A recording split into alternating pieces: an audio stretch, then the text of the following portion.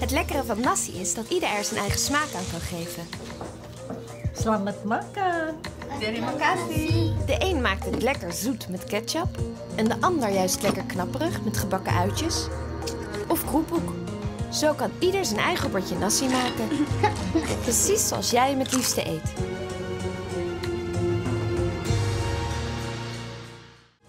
Met Conimax ketchup Manus maak je je nasi lekker zoet. Met Conimax gebakken uitjes maak je je nasi lekker knapperig. Met Conimax Cassave kroephoek maak je je nasi lekker knapperig.